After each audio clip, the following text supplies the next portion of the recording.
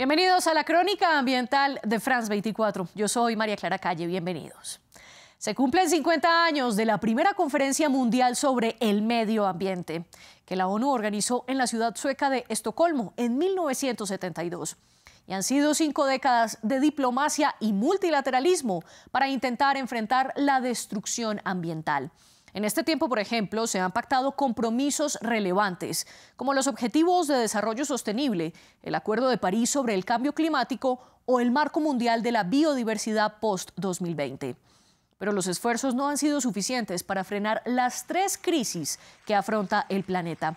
El cambio climático, la pérdida de biodiversidad y la contaminación. Por eso líderes mundiales se reunieron del 2 al 3 de junio en Estocolmo más 50. En la capital sueca no solo hablaron de los 50 años de la lucha ambiental, sino también de lo que viene. El propósito de esta reunión es que nos vayamos a casa desde aquí y hagamos mucho más.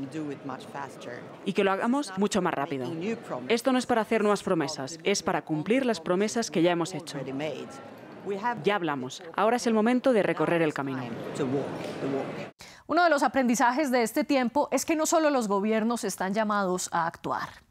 Siguiendo el ejemplo de países como Francia o Reino Unido, España formó en 2021 una Asamblea Ciudadana por el Clima, que está integrada por 100 personas elegidas en un sorteo aleatorio.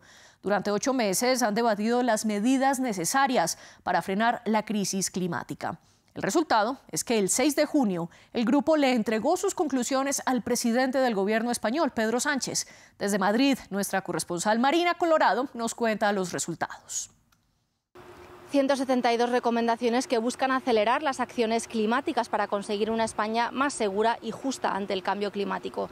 La primera Asamblea Ciudadana por el Clima del país, que llegó con dos años de retraso, pide que se llegue a un pacto de Estado contra el cambio climático para que las acciones no dependan de quién esté en el gobierno y así las decisiones climáticas sean duraderas. Fueron asesorados por equipos de especialistas y las propuestas se han agrupado en cinco áreas. Consumo, alimentación y usos del suelo, comunidad, salud y cuidados, trabajo y ecosistemas.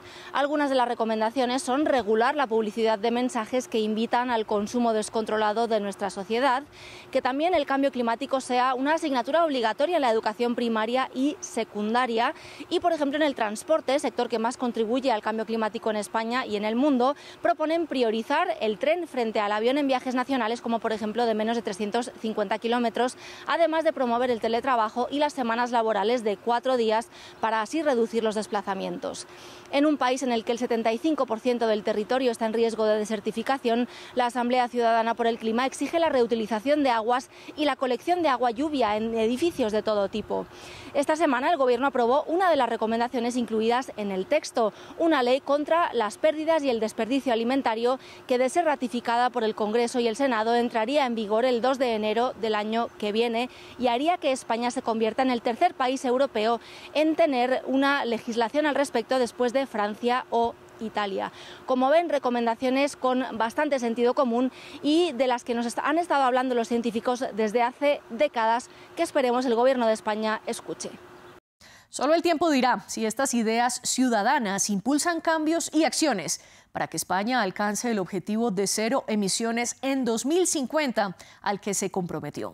Como contexto, menos de un año después de las iniciativas ciudadanas en Francia, allí se implementaron 75 de las 149 propuestas.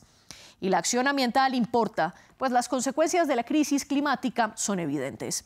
En Honduras, por ejemplo, las recurrentes sequías son cada vez más fuertes y están creando una crisis alimentaria. Más de 130 municipios del sur hondureño fueron declarados en emergencia porque el tiempo seco extremo está afectando cosechas de maíz y frijol. La historia la tiene nuestra corresponsal Kenia Torres. Los alimentos para la familia de Arturo Colindres no están garantizados este año. La zona donde se ubica la parcela para sembrar los frijoles, que son el sustento de su hogar, ha sido declarada en emergencia por sequía.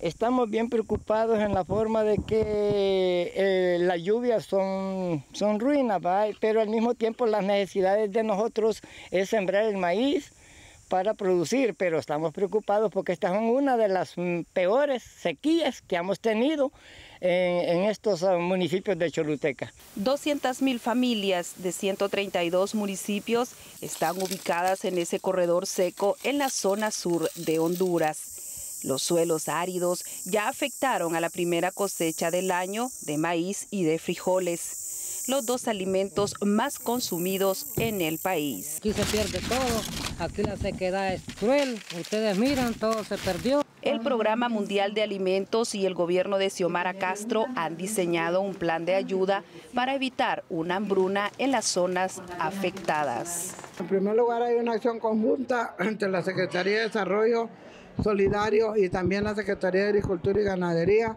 en donde eh, van a, a, desarrollar proyectos específicos en las comunidades más pobres de la zona.